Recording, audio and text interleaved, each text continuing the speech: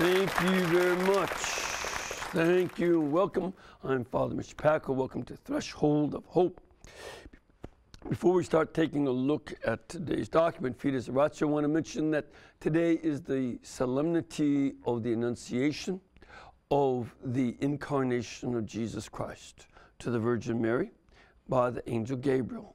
And it's always a double sided feast. On one hand, it is very much about the phrase in the Gospel of John the Word became flesh. And in the grotto of the Annunciation in Nazareth, you can see on the floor, on the base of the altar in an alabaster base, hic verbum incarnatus est.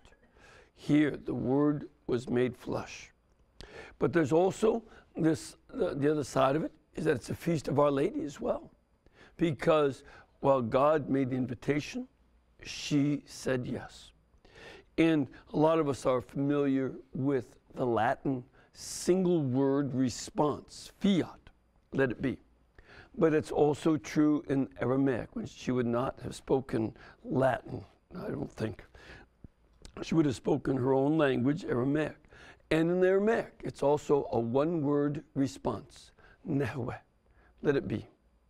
And you know that one word of her yes to God, her her nehwe, her let it be, is something that is a model for us.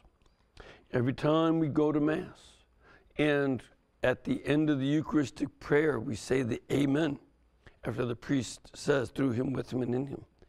Our one word Aramaic response should be modeled on her yes in that her acceptance of God made flesh into our lives for the sake of our salvation and that of the whole world. So today is a great feast, and because it's a solemnity, it's a day off from Lenten abstaining and stuff. So have fun for a few more hours. All right, we are now going through the encyclical by Blessed John Paul, Fides et Ratio. And again, you can get a paperback copy from EWTN's Religious Catalog. Simply go to EWTNReligiousCatalog.com or you can call 1 800 854 6316 and order that paperback copy. Another way to get it is to download a free electronic copy of Fides et Ratio this you have to go on the computer to EWTN.com, go to the document library, type in Fides et Ratio, and you can download it from our site for free. Also, we want you very much to be involved and participate. Uh, you can do like these nice folks have, mostly from the great city of Louisville, uh, Kentucky, uh, folks from other parts of the country and the continent, even Canada. Come down here to Birmingham, where the global cooling is not quite so severe as it is up in Canada. Uh, or you can also uh, send us a question by writing to threshold at EWTN.com. Or you can call during our live broadcast, which is Tuesday at 2 p.m. Eastern Time. Of course, adjust at your own time zone. And the phone number to call is 1 800 221 9460 if you are in North America. If you are uh, another country or if you're right here in Birmingham, just call 205 271 2980. Of course, we try to give priority to anybody calling from another country. All right, we are now beginning paragraph 55. And again, just to keep background, we've been going through the ways in which the church has intervened when there are various philosophies and theologies that are intellectually not right, that they've sort of gone astray. They've opened up, you know, rabbit trails that just don't go very far uh, in the right direction and don't help lead people to truth. And as of last week, we got as far as the time of the 20th century, the first half of the 20th century. That's why here in paragraph 55, Pope John Paul begins with today and the situation we have now. And we see that the problems of other times have returned because there is a basic principle that uh, I, I learned uh, this verse back in graduate school. My professor assured me back then that I was too young to be citing that. Now I'm not. And it's Ein Kol Chadash Tachat Shamish. There's nothing new under the sun. See, I told you I'm not, you know, I'm old enough to know that. And this is one of the things. Rarely do you have new heresies or new dumb ideas. They uh, basically people are borrowing from past dumb ideas. And the only difference is that they give it a new twist or a new key.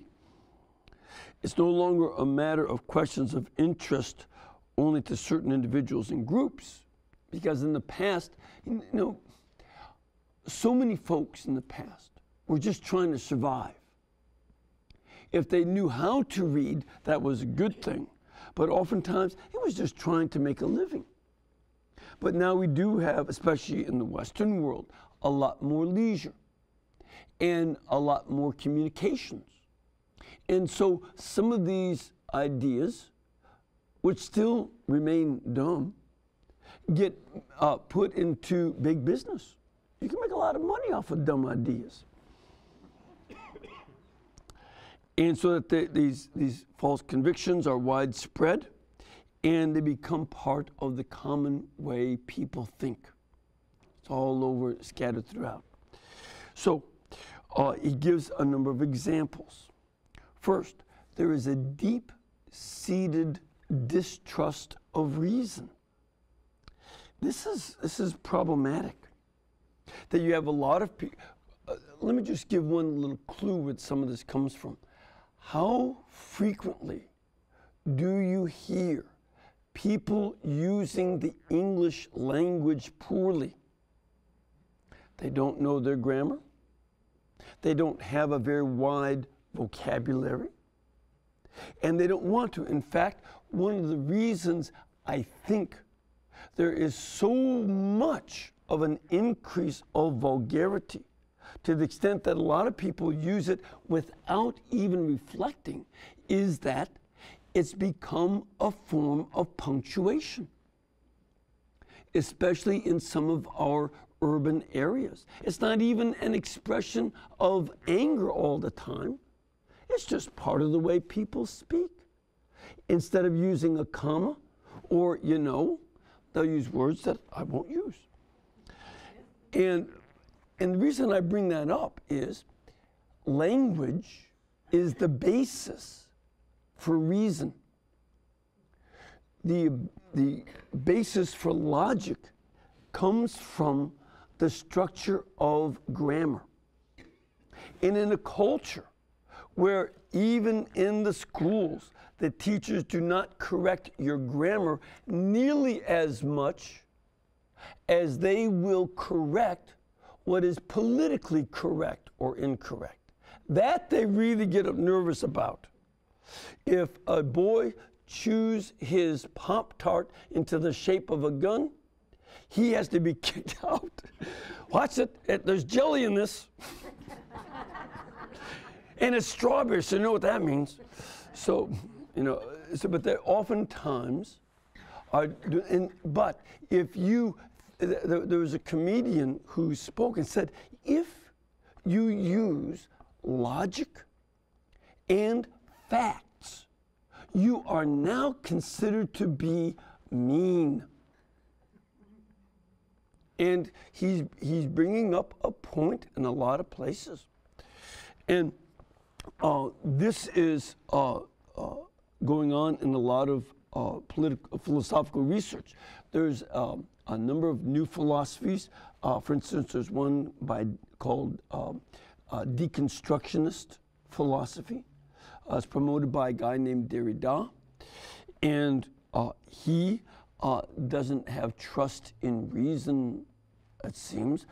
Again, I don't uh, know how he forms logic, but this is something where you have people like uh, so, some of the modern philosophers who speak about there being the end of metaphysics. We don't trust the ability of reason to think. A matter of fact, I came across this with an atheist some months ago who said, I don't want to think about the nature of being. I don't care about that. Can you prove it scientifically? Well, what I was asking him to show me is is science scientifically provable? I can't think about that. Well, you know, uh, that's not good. You should be able to think about that. But this is something that people say. I, I just like what scientists tell me. If you don't know how to question some of those basic presuppositions of science, then if a scientist says something, I guess I got to believe it. Such as when Darwin, we talked about this last week, when Darwin said people from Africa are a species in between human beings and apes. They're a subhuman species. Well, that's science, isn't it? He was a scientist, so we should believe it. No, no, no, no, no, no. We have to examine these things, and you need reason to do so. And some people are afraid to use that. You don't you know, ask uh, any of you have college students, grandchildren, or children, ask them if they take any courses in logic. Probably not. Probably not. Engineers might. A lot of engineers do, because they need logic to make things work. But a lot of folks disregard it. Philosophy is expected to rest content with modest, modest tasks, such as simple interpretation of facts or an inquiry into restricted fields of human knowledge or its structures. In other words, they, they, they will let philosophy examine a few areas, but in terms of the purpose of life, or even whether there can be a claim to a purpose for life. That you, you can't bring up. And I remember when uh, I was in graduate school, two of my uh, roommates were medical students. And they were warned against thinking about things like teleology, which means what is the goal of something? Don't think about the body in terms of its goals. Well, you know, Philosophically, that's not smart. Does not the stomach have a goal, which is the digestion of food?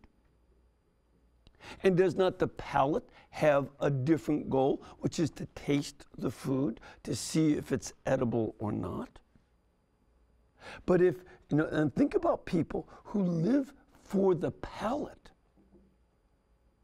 and eat for the palate and not for the stomach. If you eat only for the palate, you can make a diet out of potato chips and soda pop because they taste good. But that's not good for the stomach, is it?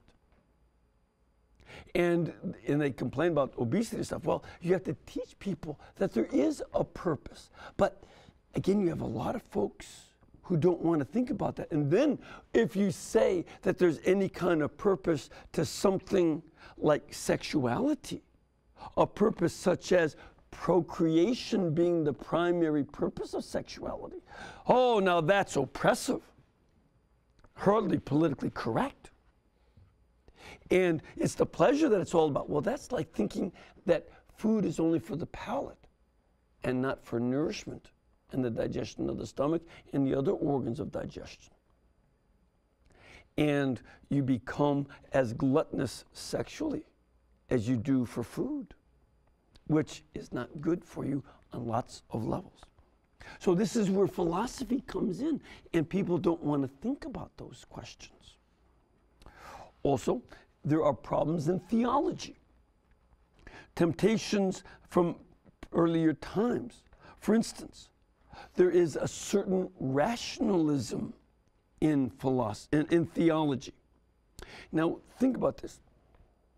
In you know, the, the, the difficulty with this is sometimes theologians will say that certain currents of philosophy and ideas among philosophers are the basis for judging whether something is true. Let me give you an example. There was a philosopher named Martin Heidegger, and he proposed in his philosophy that man is a being toward death. That the, this is the whole, the, the, the core of understanding human life, that you are going towards death. Well, one of his very good friends, Rudolf Bultmann, applied that to theology. And because he then interpreted the resurrection of Jesus from the dead as an escape from death, which it is. Then he said we shouldn't believe that. The, the community sort of felt Jesus' presence, but there was no real empty tomb, there was no real resurrection. And we have to keep our focus on authentically being focused on death. And the resurrection saves from that. And the same thing with the miracles.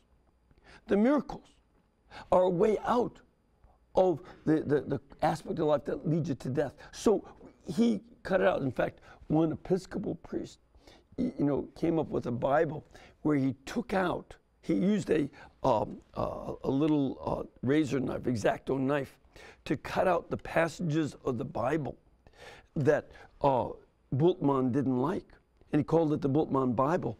And when he flipped the pages, you saw how the Gospels were empty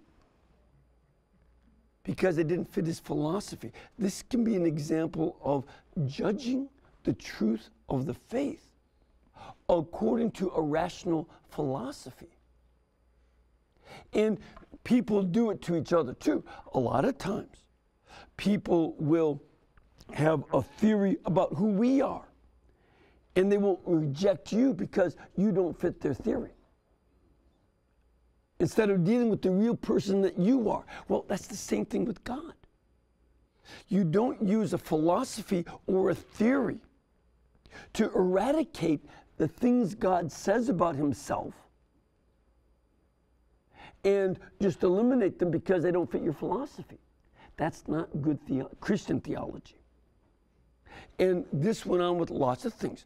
Um, some of you can remember days in the 70s and 80s and even later when speaking of God as the Lord, using the male pronoun he for God, this was forbidden by some, because they had a philosophy about what God and, and reality is.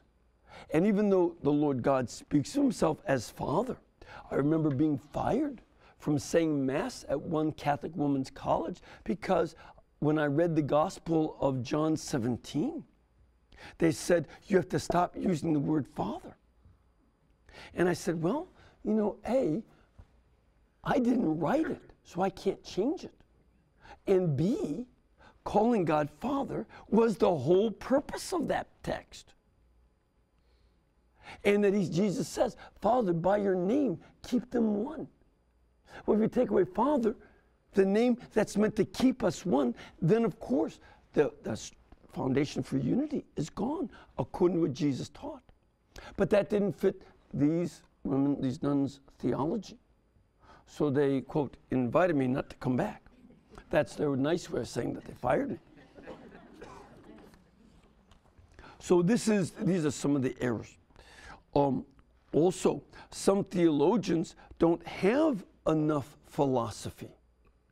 They don't know how to use philosophy, and they allow themselves to be swayed by various assertions in the culture and, and different ideas that go on, uh, but are not well read, in, are not well versed in uh, theology. And uh, you see this in the encyclical, excuse me, the um, Vatican I document, uh, Dei Filius, chapter 3, where, it's, where the Vatican Council said, as regards this faith, the Catholic Church professes that it is a supernatural virtue. By that, you know, faith is a gift from God, a gift of grace. That's what supernatural virtue means. It's a supernatural virtue by means of which, under divine inspiration and with the help of grace, we believe to be true the things revealed by God, not because of the intrinsic truth of the things perceived by the natural light of reason, but because of the authority of God Himself. So I don't believe it just because I can figure it out with my little pea brain, but I believe it because God reveals it. And that God cannot deceive or be deceived. Goes on in chapter 4. Reason is never able to penetrate these mysteries of God as it does the truths which are its proper object. Philosophy can understand a lot of important things that are part of human reason, but the things that God tells about himself is what God chooses to reveal. And it's not just part of reason. The Christian faithful not only have no right to defend as legitimate scientific conclusions, uh, opinions which are contrary to the doctrine of the faith, particularly if they are condemned by the church. But they are strictly obliged to regard them as errors which have no more than a fraudulent semblance of truth. So we, and you know, think about it for yourself too.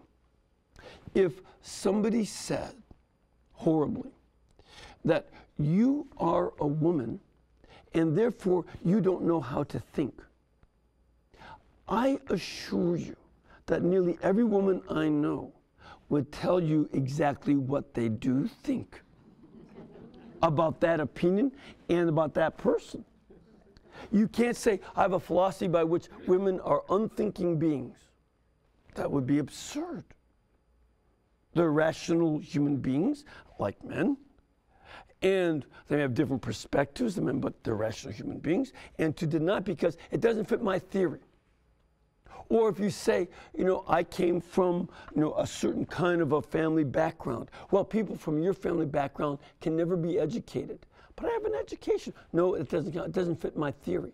If you reveal something about yourself and somebody else says, well, that doesn't fit my theory of Catholics, women, people from Canada, people from Kentucky, or anything else, what is the truth? Their preconceived ideas or the facts of your life and what you share with them. It's the facts of your life. You cannot live primarily in a world of theory, but you must deal with the facts and make your theory big enough to fit reality. That is key.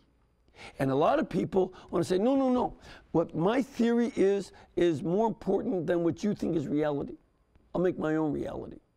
That, by the way, is going to, if you go to see this new movie about Noah, you'll see that this guy has his own version of reality. has nothing to do with the book except that there's water in a boat. But uh, apart from that, it's his own little world and his little theory, and this is the world that I like. By the way, he doesn't include even mention of God in the whole thing.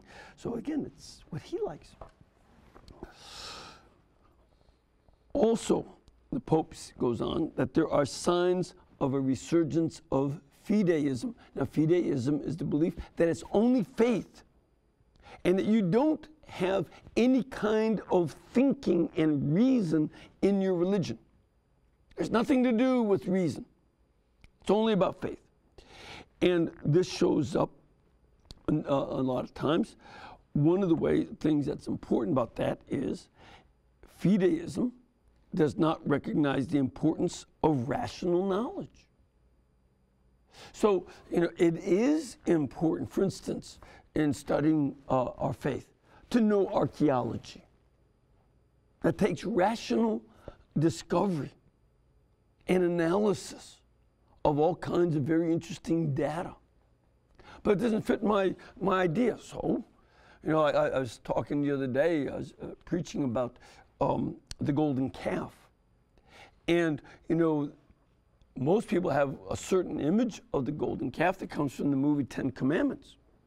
But in fact, archaeologists have the largest molten calf ever found by archaeologists in the Middle East is five inches. And they say, but then the movie was big. I know, but you can believe the movie if you want. But Cecil B. DeMille had a bigger budget. He wasn't a Bedouin roaming around the desert. So, you know, we have to uh, use uh, rational knowledge, good history, etc., and philosophical discourse to understand the faith. It's important to use philosophy and thought in understanding the faith. Indeed, for the very possibility of belief in God. You know, this is, you know, a lot, you'll hear certain people, like Jehovah's Witnesses, they'll go around saying, well, the word Trinity is not in the Bible. That's right.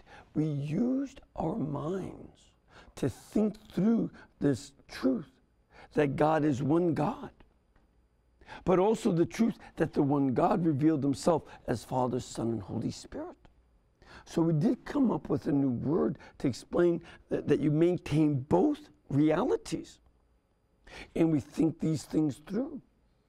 But, um, yeah, and, and you're not going to stop us from thinking.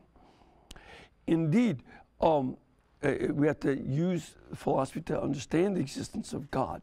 And that's, uh, again, uh, for if you want to do follow a discussion on the importance of reason for a proof of the existence of God, I strongly urge you to take a look um, at the book by uh, Feser called The Last Superstition. Wonderful book on that. Also, there's a, a certain biblicism.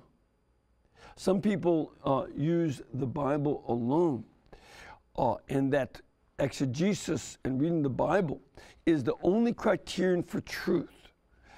Uh, therefore, the, the, the, the, one of the problems with that is they see that the Word of God is only in Scripture instead of believing what the Bible itself says.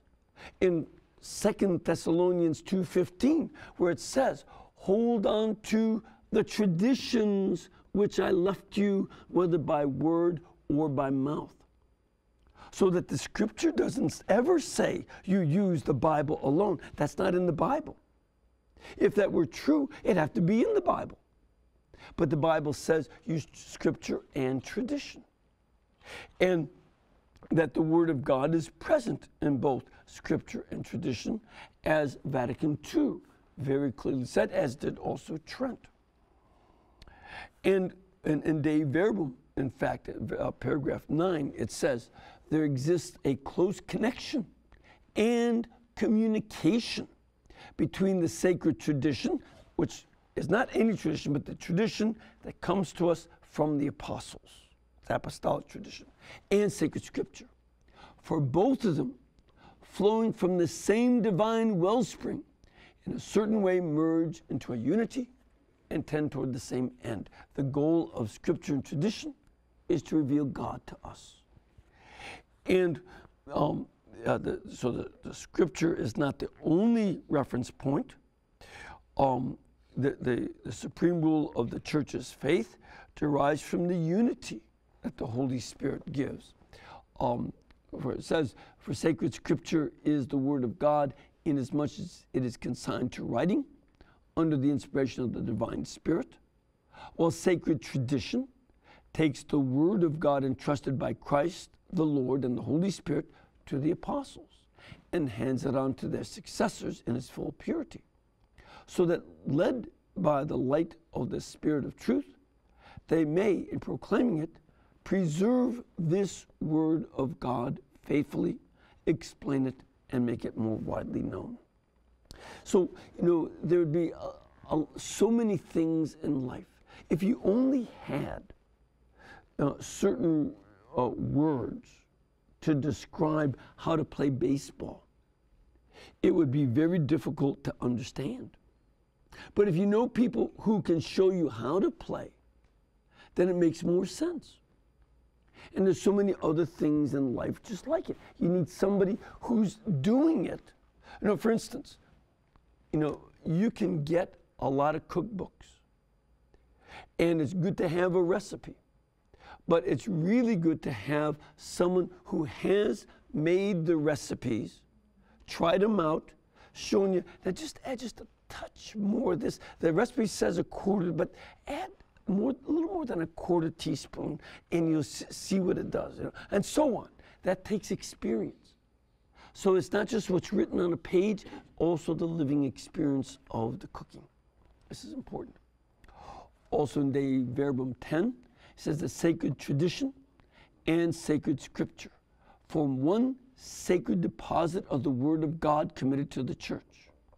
Holding fast to this deposit, the entire holy people, united with their shepherds, remain always steadfast, so that holding to, practicing, and professing the heritage of the faith, it becomes, on the part of the bishops and faithful, a single common effort. So that's why, you know, I'm going to be pretty critical of a book like, or excuse me, a movie about Noah that doesn't mention God, even though the Bible text makes it about God, where it portrays um, um, Noah as not such a good guy, uh, when in fact that's why he survived. He was a good guy. And one of the things that we also see is that sacred tradition and sacred scripture and the church magisterium go together. We can't have one without the other. That's why, again, Dei Verbum, paragraph 21 says, the church has always venerated the divine scriptures, just as she venerates the body of the Lord. Since, especially in the sacred liturgy, she unceasingly receives and offers to the faithful the bread of life from the table, both of God's word and of Christ's body. The church has always maintained them and continues to do so, together with sacred tradition, as the supreme rule of faith. Since, as inspired by God and committed once and for all to writing, they impart the word of God Himself without change, and they make the voice of the Holy Spirit resound in the words of the prophets and the apostles. So that the scripture is not just about my philosophy, but it's about what does God tell us about himself. Moreover, one should not underestimate the danger inherent in seeking to derive the truth of sacred scripture from the use of one method of study alone. Now, he understands the history of Bible scholarship. Because what's happened over the, cent- over the last oh, 125 years or so, maybe a little bit longer, is that they'll get a method of studying the Bible and say, oh, this is the way you understand. Now we know what it means. And then a new method comes. No, no, no, that's not enough. Got, this is how you get what the meaning is. Then another method. So it went from source criticism to form criticism, which took the Bible into little parts.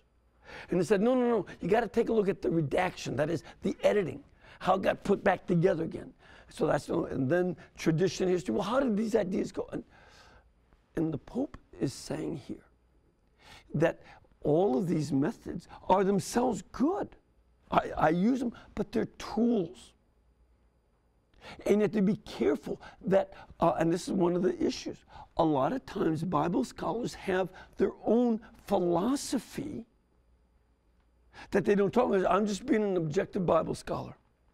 And they don't know or they don't pay attention to the philosophy underlying their method. And people say, well, you know, the Bible scholar, I've heard this over the years. Bible scholars say that this the, the multiplication of loaves and fish didn't happen or that miracle didn't happen and that jesus never said bible scholars now say jesus never said this or they never said the our father and all they go on and on and on. To which i having read you know lots of bible scholars as part of my research will ask which bible scholar was it? And then why are you listening to that person instead of somebody else?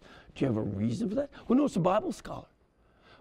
Believe me, Bible scholars do not agree amongst themselves at all. That's how they get their dissertations. They refute each other constantly and they disagree with each other. So you need to also use reason to understand what is behind the philosophy of that Bible scholar and comprehend his view and then evaluate whether his view and whether his results are well based or not. Or is he just following his own bailiwick? And that there are lots of other Bible scholars, which I assure you there always are, who disagree with him. They don't buy it. And learn to think about these things. That's what the church tries to get us to do. All right, we're going to take a break, come back in a couple minutes, and get some questions from our studio audience, from you, and our email. So please stay with us.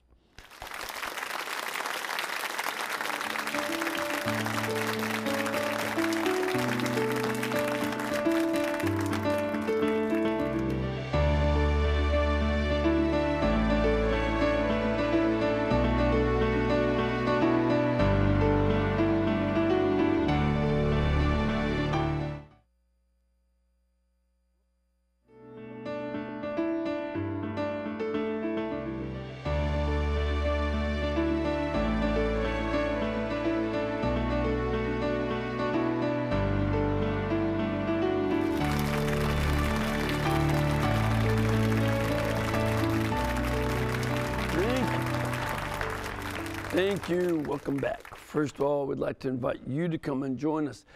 Um, it's, it's not the warmest spring we've ever had in Alabama, uh, but it still is pretty. You've seen all the pear trees and white blossoms and the red buds and the tulip trees and the forsythia. Saw a whole yard full of tulips yesterday and all kinds of pretty stuff. So we certainly urge you to come on down and join us and be part of our studio audiences. You can contact our pilgrimage department at 205 271 2966 or go to the website ewtn.com and they'll give you information about scheduling of programs and all sorts of things uh, to help you out here. We'd love to meet you over here. All right. We let's start off with a caller. We have Hilda on the phone. Hello, Hilda. Oh, hello, Father Pacwa. Hi, where are you from? I'm from uh, New York. Great. New York, Rockland County. All righty, good to see you. And what's your question? My question is, uh, I, I would like to hear your answer to this now, because it's reason that I'm using from the Bible is not in the Bible, but they say that this is the that we we're made in the image and likeness of God. Mm-hmm. Now, and then my reasoning, how is this? How can we be? You know, he's three in one. I said, so are we. We have a mind, a heart, and a body, and these sometimes work together, sometimes independently. So, what do you say? Well, I say it sounds like you might have started reading some St. Augustine in his book De Trinitate. Uh, because, in fact, uh, St. Augustine does talk about one aspect of us being made in the image and likeness of God as having a reason and memory and will. He didn't mention the body so much as those aspects of our personality that are distinctively human. The other animals also have bodies. And they have some memory, but they don't know how to use it the way we do with reason and will. They follow instinct. So he, uh, he does uh, something similar, and I urge you to take a look. Uh, as a matter of fact, if you can get on the internet, uh, you can download all of St. Augustine's wonderful, wonderful book uh, on the Trinity, or De Trinitate in Latin, and there's an English translation, of course. Uh, you get the De Trinitate from our website and take a look at that because that is one aspect. Another aspect of being made in the image and likeness of God that Augustine already brings out is that we can think and make decisions based on thought. Uh, uh, as well as memory, so that this is uh, very important. Not just the threeness, but having those abilities. And then Pope uh, uh, Blessed John Paul II also brings out that just as the Trinity is a community of three equal persons who are one, we also are people who are born for communion with each other. That everybody's person has an inherent dignity, and that we want to live out on the basis of that dignity. Uh, what, what, we're supposed to do. So this is uh, some very important aspects that um, uh, there's always more reflection to do on that too. So keep it up, Hilda. Question from our students. Ma'am, where are you from? I'm from Louisville, Kentucky. Good to have you here. And what's your question? My question is the Bible says, I knew you before you were born, Mm-hmm. I knew every hair on your head. I have interpreted that to think like this that we are spiritual beings in the other world, Mm-hmm. and we come to this world to go, do God's will. And your question about that is? Uh, what do you think about that? I think it's wrong. Okay. For one, here's here's now think about think of that biblical passage, and it gets at this gets at reality. I knew uh, every hair on your head. Yes. In the spiritual world, are there hair? we don't know. You don't? You think spirits have hair? We, do we know? Oh, yeah. Hair, but hair belongs to a body. Yes. And in fact, when you are conceived, it you know your body grows hair all over, you know, being that we're mammals, and it's only as the body grows inside the womb that there are hair follicles for God to be able to count, which He can do perfectly accurately. The Second Council of Constantinople, in fact, took up this issue because that theory had been proposed in the third century by a priest named Origen, who believed that all the souls were created at the beginning of the world and then they just enter into the bodies. Whereas and that was an idea that was a uh, came from we're talking about some of uh, these issues. It came from a philosophy. He was influenced by a late form of Plato thought. It's called late Platonism, and Plato believed that the soul transmigrated. Whereas, you know what the, the, the text that you speak of are referring to before we're born, not before we are conceived. It doesn't say that you even existed before you're conceived, but rather that at the moment of conception, God creates a soul. It's part of the great dignity of women. You know, in the world of matter, there's no new creation. God doesn't make any new matter.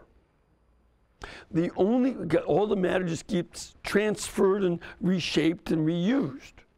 A lot of recycling that goes on. But where God still creates is in the wombs of women. When he creates a soul that is then from that point eternal and not from an earlier point. And the knowledge that God has before we're born, and can count our head, the heads, uh, hairs on our uh, head and all over the body, is uh, something that happens after there's hair to count, which is after the body is conceived and hair follicles form. Takes a few weeks, but uh, not very long. Uh, your fingerprints and your um, the hair follicles, I believe, are all formed by seven, eight weeks. So it's pretty early. And from then on, he's going to deal with you. All right, we have an, uh, an email here. Dear Father Mitch, at the Annunciation, the angel Gabriel tells Mary though, that the Holy Spirit will come upon her to conceive a son in her womb. Now, no one knew about the Trinity yet. What was the Jewish understanding of the Holy Spirit at that time? Joe in Brooklyn. Well, you see a number of places where the Spirit of God, usually they speak of the Spirit of God, Ruach Elohim, uh, in the Bible. Uh, the earliest use is in Genesis chapter 1, verse 2, where it says, Ruach Elohim hamayim, that the Spirit of God was hovering over the waters, the face of the waters. And the idea is that there was this watery chaos that in Hebrew they called tohu vabohu.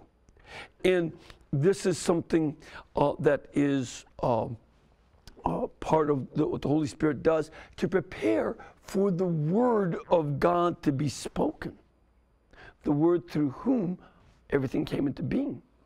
So there are hints of the Trinity at creation. And then a number of times uh, you, will see, Joe, uh, in the Old Testament, that the Holy Spirit comes upon the prophets. Numbers 11 is one place where a whole group of men in Israel get the prophetic spirit.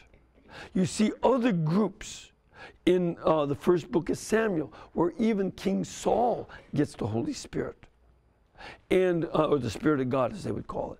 And a number of other times, uh, Ezekiel mentions how the Spirit of the Lord was upon me. So they'll, they'll speak of that. Now, they don't have as great a clarity as Jesus gives us, but they do have a un- beginning understanding of it. And they, they, uh, it's from Christ that we learn more about the Trinity. All right, now we have another caller. Hello, Tom, you're on the line. Oh, hi, Father Mitch. Hi, where are you from? I'm from Boston. Oh, great. Nice town. uh, I have a thank you for taking my call. Sure. My question is about forgiveness. Sure. Um, I know that our faith teaches us that if we confess our sins and are sorry, that God forgives our sins. Sure. Okay. Um, but it seems to me that being the case, we have to ask for God's forgiveness by mm-hmm. entering into the sacrament sure. of reconciliation. Sure. Okay, and likewise, we are taught that we must forgive others as God forgives us. My question is what about the person that offends you, sometimes repeatedly for years on end, mm-hmm. but never apologizes mm-hmm. and never asks for your forgiveness? Mm-hmm. Does God expect us to forgive them? All right, here's something I would say. Um, I think most of us, uh, certainly I myself, can relate to such a situation. This is a fairly common human situation. And I think the model for that will be Jesus Christ our Lord on the cross, where he says, Father, forgive them, they know not what they do. He not only forgives them while they are still standing there jeering at him. They're still making fun of him. They're ridiculing. If he's the Son of God, come on off that cross. And all of those things that they're saying. And he still forgives them and even comes up with an excuse for them. Namely, they're ignorant. They don't know what they're doing.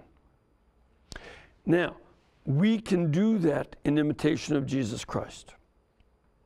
But in terms of bringing about, the, and also, by the way, we also can do that with the sense of the Beatitude.